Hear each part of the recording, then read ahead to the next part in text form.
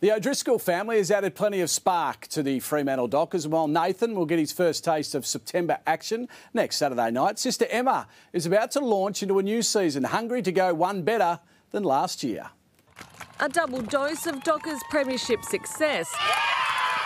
That's the dream gritty defender Emma O'Driscoll has for her and brother Nathan. And I pinch myself every day that I get to play at the same club as my brother. And like I said, it'd be even better if we can both win a flag. The sibling seasons at different stages. Emma preparing for Sunday's season opener against the highly fancied Lions. Um, they love the run, um, they love fast footy as well, and they're really good at their one on one contested work too. Nathan eyeing off next week's elimination against the Bulldogs. I think considering last year he didn't play, I think it was just a bit of fire in the belly to actually get out there with his teammates and show everyone what he can do.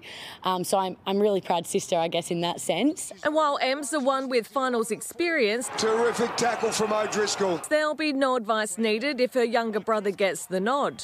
Known sharpshooter, he's done it again. Not sure if I can help him with those goals that he cheekily kicks anyway. I think he's got that um, in the bag, that left pocket, left foot. The seasoned defender in good form of her own after back to back selection in the 22 under 22 team. But Nathan's recent Rising Star nomination, the perfect motivator for another big year. Look, it is very competitive in the O'Driscoll household at the moment. I think we're going one for one. I know Nathan kicked his first goal, and then the week after, I had to kick that goal in that prelim final just to get one up on him.